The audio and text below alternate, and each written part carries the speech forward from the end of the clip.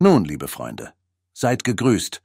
Wir beginnen heute mit dem Begriff Staking. Was bedeutet es und wofür ist es notwendig? Wir sprechen über das Staking auf der Smart Blockchain. Ihr Muttercoin ist Smart. Wir haben das delegierte Proof of Stake, das heißt, der Nachweis des Anteils wird delegiert. Und hier sprechen wir darüber, was auf das Netzwerk einwirkt, nämlich auf unsere Smart Blockchain und auf ihren wichtigsten Grundcoin Smart. Dementsprechend werden wir heute über das Smart Staking sprechen, weil das Netzwerk eine Delegierung, eine Abstimmung seiner Repräsentanten, Kandidaten und Partner erfordert. Und dafür haben wir unseren Smart Coin. Was ist also Staking und wie funktioniert es auf der Smart Blockchain? Einfach ausgedrückt bedeutet das Staking ein Einfrieren, das Einfrieren ihrer Smart Coins in ihren Wallets. Zurzeit sind nur noch ein paar letzte Handgriffe nötig, damit diese Option produktiv in unserer bestehenden Smart Blockchain funktioniert. All dies wird über unsere mobile Wallet verwaltet. Daher ist es äußerst wichtig, Ihre Smart Wallet bis zur neuesten Version zu aktualisieren. Gerade hier bekommen Sie die Möglichkeit, Ihre Smart Coins für Staking einzufrieren. Auf Englisch wird das als Freeze bezeichnet. In erster Linie muss man Smarts einfrieren. Sie staken, um die Ressourcen unseres Netzwerks zu erhalten. Das heißt, jetzt verwenden Sie als einfacher Nutzer Ihre mobile Wallet, führen Transaktionen mit Smarts, Tokens und Splits durch, kommunizieren mit Hilfe von Verträgen in Form von Take Reward, das heißt, eine Belohnung einfordern und erhalten Ihre Belohnung. All dies sind Transaktionen. Die Transaktionen verbrauchen Netzwerkressourcen. Das heißt, jetzt verwenden Sie als einfacher Nutzer Ihre Mobile Wallet, führen Transaktionen mit Smarts, Tokens und Splits durch, kommunizieren mit Hilfe von Verträgen in Form von Take Reward, das heißt eine Belohnung einfordern und erhalten Ihre Belohnung. In erster Linie muss man Smarts einfrieren, sie staken, um die Ressourcen unseres Netzwerks zu erhalten. Das heißt, jetzt verwenden Sie als einfacher Nutzer Ihre mobile Wallet, führen Transaktionen mit Smarts, Tokens und Splits durch, kommunizieren mit Hilfe von Verträgen in Form von Take Reward, das heißt eine Belohnung einfordern und erhalten Ihre Belohnung. All dies sind Transaktionen. Die Transaktionen verbrauchen Netzwerkressourcen. Die Ressourcen in unserem Netzwerk sind Bandbreite, Bandwidth und Energie, Energy. Und in unserem Fall hat jeder von Ihnen immer 1500 Bandbreiteneinheiten pro Tag, also 1500 Bandwidth pro Tag. Alles bewegt sich nach seinem eigenen sehr raffinierten Algorithmus, aber das tägliche Limit ihrer Bandbreite beträgt dennoch 1500 Einheiten. Ich bin mir sogar sicher, dass einige von Ihnen jeden Tag kostenlose Transaktionen durchführen. Eine kostenlose Transaktion bedeutet, dass Sie nicht mit Smarts dafür in der Blockchain bezahlen müssen. Gebühren bedeuten Ressourcen, Bandbreite und Energie. Lassen Sie uns nun diese beiden Konzepte voneinander trennen und uns jedes einzelne genauer anschauen. Also, meine Freunde, wir haben jetzt unseren Smart Explorer geöffnet. Auf der Hauptseite unseres Blockchain Explorers sehen wir zwei Diagramme, Nutzerkonten und Transaktionen. Nutzerkonten sind Wallets. Darüber haben wir bereits in unseren vorherigen Webinaren gesprochen. Wir wissen, dass jede beliebige Wallet in der Blockchain ein Nutzerkonto ist. Wir nehmen einfach wahllos eine dieser Wallets. Was sehen wir hier? Wir sehen diese wunderbaren Grafiken. Smart Power, Energie und Bandbreite. Im heutigen Webinar lernen wir die Konzepte von Bandbreite und Energie kennen. Wir sehen, dass das Nutzerkonto noch 1222 Bandbreiteneinheiten hat. Dies sagt uns, dass dieser Nutzer weitere Transaktionen mit Smart Contracts unter Verwendung seines täglichen Bandbreitenlimits durchführen kann. Beliebige Wallet im Blockchain Explorer öffnen und sehen kann, wie viel Energie und wie viel Bandbreite derzeit dort vorhanden ist. Beim Smart Staking haben Sie das Recht zu entscheiden, wofür Sie es tun. Das Hauptziel des Staking besteht darin, seine Teilnehmer entweder mit Bandbreite oder mit Energie zu belohnen. Das heißt, wenn Sie Ihre Smarts staken wollen, können Sie wählen, wofür Sie sie einsetzen möchten. Für Bandbreite oder für Energie. Sie können nicht für zwei Ressourcen gleichzeitig staken, nur für eine. Sie können den Betrag, den Sie auf Ihrem Guthaben haben, aufteilen. Sie haben zum Beispiel 100.000 Smartcoins. Klasse. Sie staken 50.000 dieser Smarts für Energie und 50.000 für Bandbreite. Somit erhöht und vergrößert die Blockchain ihre Ressourcen, die Ressourcen ihres persönlichen Kontos, ihrer persönlichen Wallet. Das heißt, für die Blockchain stehen Ihnen jetzt nicht null Energieeinheiten und 1500 Bandbreiteneinheiten pro Tag zur Verfügung, sondern viel mehr. Dies können Zehntausende Energie- und Zehntausende Bandbreiteneinheiten sein, die es Ihnen ermöglichen, kostenlose Transaktionen für die Blockchain durchzuführen und diese mit Ihren Ressourcen zu bezahlen. Lassen Sie uns nun ausführlicher darüber sprechen, was Bandbreite und was Energie ist. Bandbreite oder Bandwidth ist die Bandbreite des Netzwerkes. Sie wird bei jeder Transaktion verwendet, sowohl im Smart-Netzwerk als auch beim Umlauf von Tokens. Das heißt, diese Ressourceneinheit wird für jede Transaktion im Smart-Blockchain-Netzwerk gebraucht. Und Energie ist eine weitere Ressource, eine andere Art von Ressource, die für Smart Contracts wichtig ist. Wir öffnen noch einmal unseren Smart Explorer, wir aktualisieren die Seite. Wir nehmen als Beispiel eine Transaktion aus der Liste. Es handelt sich um eine Anfrage der Belohnung. Das heißt, dass jemand jetzt während des Webinars eine bestimmte Anzahl von Ultima für Splitting erhalten hat. Das heißt, er erhält Ultima als Belohnung für den Besitz von Splits. Schauen wir mal. Wie viel Bandbreite wurde für diese Transaktion ausgegeben? 280 Einheiten. Großartig. Wie viele Smarts hat der Benutzer bei dieser Transaktion verbrannt? Null. Dies sagt uns, dass das Bandbreitenlimit, das jedem Nutzer pro Tag zur Verfügung steht, diese Transaktion mit der erforderlichen Bandbreite versorgt hat. Man musste keine Smarts verbrennen und keine eigenen Smarts von seinem Guthaben ausgeben. Und nun schauen wir uns die Energie an. Die Energie, die erforderlich war, um diese Transaktion mit Take Reward abzuwickeln und Ultima aus dem Smart Contract zu erhalten. Das heißt, der Smart Contract hat die Transaktion der Belohnungsanforderung ausgeführt. Eine Transaktion wird immer vom Initiator bezahlt. Das heißt, jeder Nutzer, der jeden Tag auf die Schaltfläche Take Reward klickt, initiiert diese Transaktion und muss dementsprechend für diese Transaktion bezahlen. Damit das Netzwerk diese Transaktion bearbeiten kann, muss es einige Ressourcen erhalten und dafür verbrauchen. Und hier im unteren Teil sehen wir Bandbreite. Jeder Nutzer hat sie. Eine bestimmte Menge wird täglich allmählich erhöht, aber sie wird nicht mehr als eineinhalbtausend betragen. Wir sehen, dass 280 Einheiten in diesem Limit enthalten sind. Die Bandbreite des Nutzers reichte für diese Transaktion vollkommen aus. Er brauchte nicht seine Smarts in Bandbreite umzuwandeln. Und mit Energie ist es viel interessanter. Schauen Sie, damit diese Transaktion zustande kommt, damit sie funktioniert, hat man 54.064 Energieeinheiten bezahlt. Das heißt, für diese Transaktion wurden 54.064 Energieeinheiten verwendet. Der Nutzer hatte diese Energie nicht. Er hatte keine eingefrorenen Smarts für Staking, speziell für diese Ressource, deswegen musste er mit Smarts bezahlen. Das heißt, das Netzwerk hat den Nutzer 1135 Smarts zahlen lassen, um die Energie zu decken, die für diese Transaktion aufgewendet wurde. Was bekommen wir also?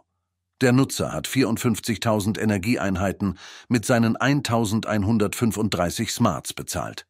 Jetzt verstehen wir, wozu man Staking braucht. Sie bekommen Ressourcen, um weniger Gebühren in Smart zu zahlen. Wenn ich über die Ressourcen verfüge, die es mir ermöglichen, Transaktionen durchzuführen, ohne Smartcoins zu verbrennen, dann handelt es sich um praktisch kostenlose Transaktionen, die in unserer Blockchain umgesetzt werden. Stellen Sie sich nun vor, welch ein weites Tätigkeitsfeld für jeden von Ihnen, für jeden Nutzer der Smart Blockchain mit der Einführung des Staking öffnet. Das heißt, die Möglichkeiten, die das Staking dem Nutzer bietet, sind einfach fantastisch.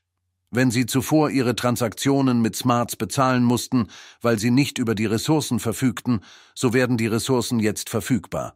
Und der Nutzer, der seine Smartcoins für Bandbreite oder für Energie einfriert, erhöht seine Ressourcen.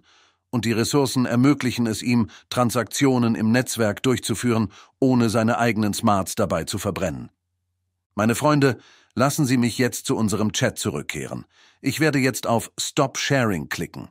Bitte antworten Sie, ob jetzt alles verständlich ist. ob Sie das Konzept des Staking und der Ressourcen im Netzwerk und wofür sie ausgegeben werden, verstanden haben. Das ist sehr wichtig, meine Freunde. Ja, ich sehe Ihre Antworten. Großartig. Danke. Es ist klar. Gut. Vielen Dank. Wir bereiten uns auf die Einführung von Staking auf unserer Blockchain vor. Wenn dies geschieht, wird das Staking ohne neue mobile Wallets nicht möglich sein. Das heißt, alles muss ein wenig aktualisiert werden. Eine neue Version der Smart Wallet Anwendung wird wie immer gleichzeitig für Android und iOS verfügbar sein.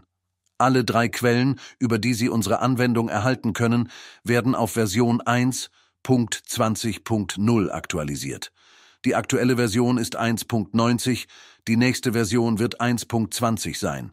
Selbstverständlich werden diese Informationen über die Neuigkeiten der Anwendung im Store selbst angezeigt. Es wird auch angezeigt, dass das Staking jetzt verfügbar ist. Nur dort finden Sie ein neues Menü, über das wir in den nächsten Webinaren sprechen werden. Aber zunächst sollten Sie sich bloß darauf vorbereiten, dass Sie Ihre Anwendung aktualisieren müssen. Und nachdem die Anwendung aktualisiert wurde, können Sie Ihre Smartcoins staken. Ich sehe eine Frage im Chat. Meine Freunde, wir sind keine Bank. Wir sind eine absolut dezentrale Blockchain, die nach ihren eigenen Algorithmen arbeitet, die ihre eigenen Bedürfnisse und ihre eigenen Ressourcen hat. Für einige ist die Transaktion einfach. Man hat einen Token und man sendet ihn. Für diese Operation brauchte das Netzwerk minimale Berechnungen. Es benötigte dafür weniger Energie. Aber für andere Transaktionen werden komplexere Rechenprozesse benötigt. Zum Beispiel, sie hatten 3 plus 1 plus 2 plus 5, dann irgendwelche Bruchteile, eine Paarung von Transaktionen und so weiter.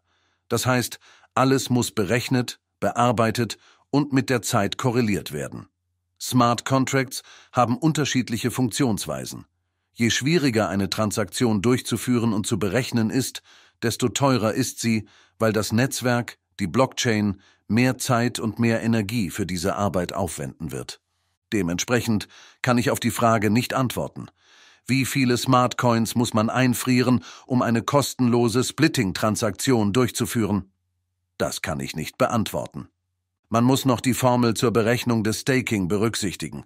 Im Prinzip sind die Formeln zur Berechnung des Staking für Bandbreite und Energie dieselben, werden jedoch unterschiedlich berechnet. Wie berechnet man, wie viele Ressourcen man bekommt? Wie funktioniert es im Netzwerk? Es ist ganz einfach. Ihr Staking-Anteil, das heißt, was Sie für eine Ressource gestaked haben, zum Beispiel 100 Smarts, wird durch den Gesamtbetrag des Staking geteilt, der derzeit im Netzwerk für die aktuelle Ressource vorhanden ist.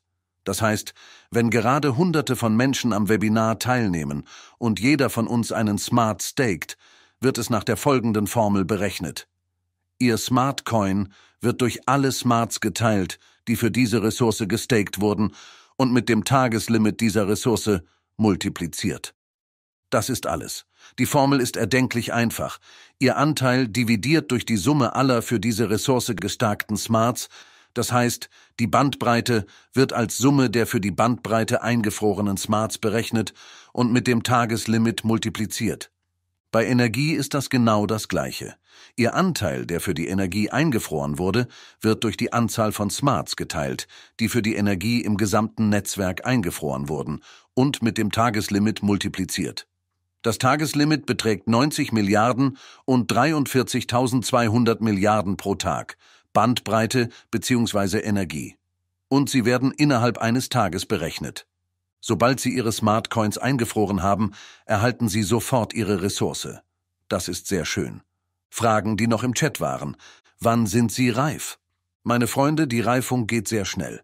Beim Einfrieren von Smartcoins erhalten Sie sofort Ressourcen und können diese sofort ausgeben. Sie können Smarts zeitlich unbegrenzt einfrieren und sie jederzeit wieder freigeben. Lassen Sie uns ein wenig über die Formel sprechen. Wir alle sind Nutzer. Sie und ich haben unterschiedliche Transaktionen. Das heißt, das Netzwerk kann 1000 Energie für meine Transaktion ausgeben, es kann aber 700 oder 1700 Energie für Ihre Transaktion verbrauchen. Außerdem sind dies unterschiedliche Verträge, unterschiedliche Splits, unterschiedliche Werte. Das heißt, es gibt keine Einheitskosten für eine Transaktion. Jeder von uns hat unterschiedliche Transaktionen, und das Netzwerk wird sie unterschiedlich berechnen. Die zweite Feinheit ist die dynamische Leistung des Netzwerks selbst. Das heißt, die Höhe der uns anzurechnenden Ressourcen hängt erstens davon ab, wie viel wir eingefroren haben, und zweitens davon, wie viele Ressourcen im Netzwerk eingefroren wurden. Das Limit ist immer konstant. In unserer Formel haben wir zwei konstante Werte. Der erste ist die tägliche Höchstgrenze für Energie und die tägliche Höchstgrenze für Bandbreite. Der Rest ist dynamisch, sowohl wie viel Sie eingefroren haben, als auch wie viel im Netzwerk eingefroren wurde. Heute haben Sie problemlos 100 eingefroren. Morgen werden Sie zusätzlich zu diesen 100 weitere 10 einfrieren. Das heißt, Ihre Formel ändert sich bereits. Im Augenblick, als Sie 100 eingefroren haben, wurde eine Million Smartcoins in der gesamten Blockchain eingefroren und eine Stunde später waren es bereits zwei Millionen. Und noch eine Stunde später waren es eineinhalb Millionen. Weil jemand eingefroren hat, jemand freigegeben hat und so weiter. Somit haben wir eine Dynamik der Ressourcenverteilung, die in erster Linie von den Nutzern des Netzwerks abhängt. Deshalb, meine Freunde, habe ich zurzeit keine Antwort auf die Frage, wie viel man einfrieren muss, damit die Splitting-Transaktion kostenlos ist. Ich kann Ihnen jetzt nicht sagen, wie viel Sie staken müssen, damit es reicht, um eine Take-Reward-Transaktion einmal am Tag durchzuführen. Weil wir erstens nicht wissen, wie viel Sie mit einem Mal einfrieren und zweitens wissen wir nicht, wie viel insgesamt eingefroren wird. Je mehr gestarkte Coins im Netzwerk vorhanden sind, desto geringer wird unser Ressourcenanteil, weil wir nur über begrenzte Ressourcen verfügen. Es gibt immer zwei Hauptparameter, die Limits. Gut, dass die Informationen darüber in unseren Anwendungen und in unserem Explorer vorhanden sein werden. Sie können Ihre mobile App öffnen und sehen, ja, ich habe Ressourcen, ich habe Energie, ich habe Bandbreite, okay. Dieser Indikator steht Ihnen selbstverständlich zur Verfügung.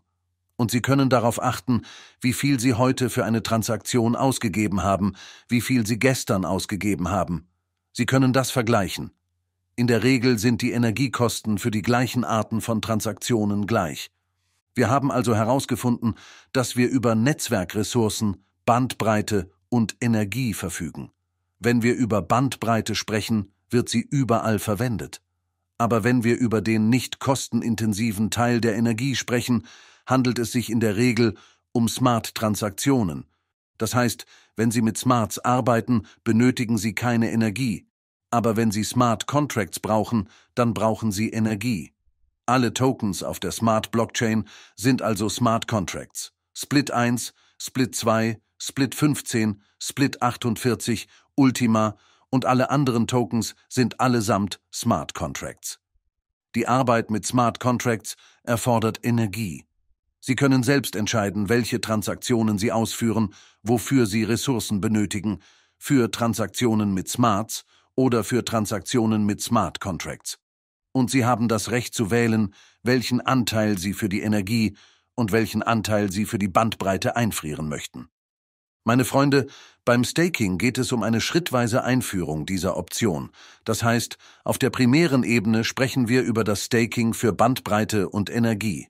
In Zukunft, wenn Abstimmungen möglich werden, wird Smart Power erscheinen. Dann werden wir über diesen sehr coolen APR-Indikator sprechen, wenn es um die Smart-Belohnung geht.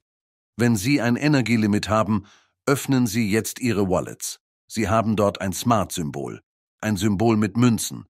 Dort sehen Sie nun zwei Grafiken. Das sind Bandbreite und Energie. Das heißt, Sie werden dort Nullen haben. Das sagt uns, dass wir keine Energie sparen können. Dies ist keine Einlage, kein Sparkonto. Es ist nichts, was ich heute nicht ausgebe, aber morgen noch mehr davon bekomme. Der maximale Wert, den Sie derzeit pro Tag in Ihren Wallets haben, beträgt 1500 Bandbreiteneinheiten. Wenn wir kein Staking machen, können es nicht mehr als anderthalb sein. Egal wie viel wir ausgeben, egal wie wir es sparen, es sammelt sich nicht an. Es ist im Wesentlichen konstant und wartet nur darauf, dass Sie es ausgeben. Haben Sie es nicht ausgegeben? Dann bleiben 1500 übrig. Haben Sie es ausgegeben? Nun warten Sie ein wenig, es wird mehr, es sammelt sich im Laufe eines Tages an und wird aktualisiert. Die Antwort auf die Frage, ob man die Einheiten zusammenrechnen kann, lautet also Nein. Welche Freigabeperiode hat das Staking? Gute Frage. Bevor wir zum Freigeben kommen, sprechen wir darüber, was Einfrieren und Freigeben bedeuten. Dabei handelt es sich nicht um eine Transaktion und nicht um zwei. Wenn wir eine Einfriertransaktion durchführen, entfernen wir praktisch die Tokens von unserem verfügbaren Guthaben. Na, stellen Sie sich vor, Sie hätten jetzt 100.000 Smarts in Ihrer Wallet. Wenn Sie sie einfrieren, stehen Ihnen null Coins zur Verfügung. Nur eine Null, wenn Sie alle 100.000 Smart Coins für Ressourcen einfrieren. Wenn Sie diese eingefrorenen Smarts an einen anderen Ort transportieren möchten, müssen Sie eine Freigabetransaktion durchführen. Die Freigabezeit beträgt derzeit 14 Tage. Dies wird im Netzwerk, in unserer Blockchain öffentlich angezeigt. Jetzt gibt es keine Informationen über funktionale Daten, weil kein Staking überhaupt im Netzwerk ist aber wenn es fertig ist, werden die Informationen zur Entsperrung natürlich bekannt gegeben. Sie wird in allen Chats und Anleitungen veröffentlicht und natürlich bei unseren nächsten Webinaren angekündigt. Beachten Sie jedoch, dass es einen Zeitraum gibt, in dem Sie Ihre Coins freigeben können. Die Freigabezeit beginnt, sobald Sie auf die Schaltfläche Unfreeze Smarts klicken. Sie müssen sie selbst abholen. Sie kommen nicht von alleine in Ihre Wallet. Sie werden nicht von alleine verfügbar sein. Sie können sie übertragen oder vom Staking abheben. Die Coins tauen eine Zeit lang wie ein Stück Fleisch in der Mikrowelle auf. Jetzt müssen Sie dieses Stück Fleisch herausholen. Der Freigabevorgang ist unsere Mikrowelle. Sie dreht sich, es taut auf und bleibt stehen. Das gleiche gilt für Ihre Wallet. Die Coins wurden aufgetaut, aber Sie müssen diese abholen und auf Ihr verfügbares Guthaben übertragen. Sie sollten wieder zu Ihren verfügbaren Smarts werden. Sie müssen eine weitere Transaktion durchführen, damit diese Coins ihr verfügbares Guthaben erreichen und Sie sie verwenden können. Die Antwort auf die Frage, wann beginnt Smart Staking zu funktionieren? Meine Freunde, bald. Wie viel und wofür wird Staking generieren? 1. Ja, wir sprechen von einem Coin, das heißt, dass der minimale Staking-Betrag einen Smart Coin beträgt. Für wie lange wird Smart eingefroren? Meine Freunde, für wie lange Sie das möchten. Das heißt, Sie können die Taste Einfrieren drücken und nach einer Minute freigeben. Das Staking 2.0 ermöglicht Ihnen das erneute Einfrieren und die Auswahl der Zeiträume, in denen Sie freigeben möchten. Das heißt, es ist alles unter Ihrer Kontrolle. Ihr Smartphone, Ihre Wallet, Ihr Konto, Ihre Verwaltung. Ohne Probleme. Wird es möglich sein, Smarts zum Staking zu senden? Das ist sehr wichtig. Smart Staking ist ein Ausnahmephänomen in der Blockchain.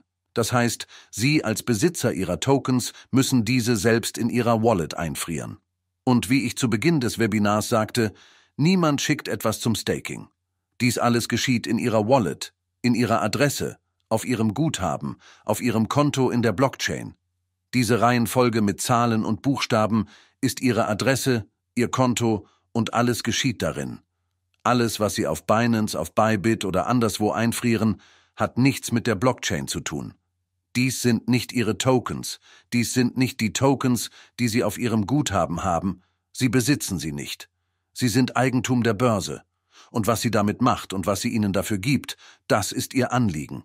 Hier erhalten sie keine Ressourcen vom Netzwerk und arbeiten nicht direkt mit dem Netzwerk zusammen. Wenn Ihnen jemand anbietet, Ihre Smarts an eine Super Staking Wallet zu senden, die Ihnen fünfmal mehr Energie, hundertmal mehr Bandbreite und andere Extras gibt, ist das kein Staking. Das Staking geschieht nur bei Ihnen und steht nur unter Ihrer Kontrolle. Es gibt keine anderen Möglichkeiten, an Ressourcen zu kommen, es sei denn, es handelt sich um echtes Staking. Senden Sie Ihre Smarts niemals irgendwo hin, wenn Ihnen jemand sagt, dass er sich mit dem Staking beschäftigt und ihnen das Blaue vom Himmel verspricht. Nein, das alles kann nicht sein.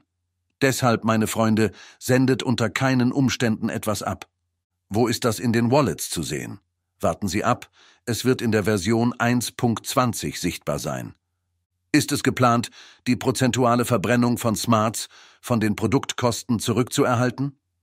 Freunde, momentan gibt es Burning Fee in der Höhe von bis zu 5 Prozent. Das funktioniert, wenn wir über Ultima sprechen. Dort ist das alles erhalten geblieben. Bekommen wir einen Prozentsatz in Form von Smart für das Staking? Wir müssen verstehen, dass Staking und Voting zwei verschiedene Sachen sind. Belohnung in Smarts gibt es nur für das Abstimmen. Sie müssen verstehen, dass sobald wir Smart einfrieren, neben Bandbreite und Energie auch eine dritte Art von Ressourcen entsteht. Das ist Voting. Das ist Smart Power, was für Stimmen ausgegeben wird. Und wir werden unsere Stimmen dafür ausgeben, um für Kandidaten zu stimmen, entweder für Superrepräsentanten oder für Superrepräsentanten von Partnern, um eine Belohnung in Form von Smarts zu erhalten. Man sollte verstehen, dass wir eine junge Blockchain sind. Erst letztes Jahr haben wir das Netzwerk gestartet, die Blockchain funktioniert, alles funktioniert, alles ist großartig. Es wurden Splits für die Splitting-Technologie ausgegeben. Wow, cool, einzigartig, revolutionär. Wir bewegen uns im Format der vollständigen Dezentralisierung und möchten für alle Menschen absolut klar sein. Eine junge, völlig neue Blockchain, die auf dem Markt noch nie zuvor existiert hat. Jetzt eröffnen wir die Möglichkeit, sich mit dem Staking zu beschäftigen. Das heißt, wir geben die vollständige Kontrolle über das Netzwerk in die Hände unserer Nutzer. Jeder, der Smarts besitzt, kann sie einfrieren, Ressourcen dafür erhalten und später kann er wählen und an Wahlen teilnehmen. Das wird allmählich möglich sein. Wir starten zunächst das Staking, bei dem es möglich sein wird, Ressourcen von NBS Energy zu erhalten. Die nächsten Schritte sind Voting und Erhalt von Smart-Prozenten für die Abstimmung, da es sich bei einem Voting Reward um genau diese Smarts handelt. Es wird für Stimmen ausgegeben. Nicht für Staking als solches, sondern speziell fürs Abstimmen. Daher besteht die primäre Bedeutung des Staking nicht darin, smart zu bekommen, sondern darin, Ressourcen zu beschaffen. Wenn wir über die Ressource Smart Power sprechen, kann es für Stimmen ausgegeben werden. Dies kann im Hinblick auf den Erhalt einer Smart-Provision von Vorteil sein. Wird es Ethereum Staking bei uns geben? Ja, meine Freunde, wir arbeiten daran. Wir werden keine Bitcoins einfrieren, aber Ethereum und Tron schon. Steht während der Freigabezeit keine Energie für kostenlose Transaktionen zur Verfügung? Sicherlich. Sobald Sie auf Freigeben klicken, sind Ihre Ressourcen weg. Auf Wiedersehen. Wir hatten es gut auf Ihrem Konto, aber wir müssen Sie verlassen. Bitte beachten Sie, dass Sie Ressourcen nur im Staking-Zustand erhalten, wenn die Coins eingefroren werden. Wenn Sie sie freigeben, auch während der Freigabezeit, sind die Ressourcen nicht mehr bei Ihnen. Sie werden nicht mehr verteilt, sie stehen ihnen nicht mehr zu. Nur im eingefrorenen Zustand haben sie Anspruch auf eine Ressource, in keinem anderen. Alle Aktualisierungen, über die wir gesprochen haben, werden in der mobilen Anwendung und im Explorer stattfinden. Es werden viele neue Registerkarten hinzugefügt. Machen Sie sich keine Sorgen, wenn Ihnen etwas zunächst unklar sein wird. Keine Sorge, wir werden das alles gemeinsam durchgehen. Heute muss ich Sie nur darauf vorbereiten, dass uns Staking erwartet. Wie viele Smarts können maximal eingefroren werden? So viele Sie haben. Alles, was Sie haben, können Sie einfrieren. Hauptsache nicht weniger als eins. Na dann alles Gute für euch, viel Glück, und ich mache mich wieder an die Arbeit. Tschüss.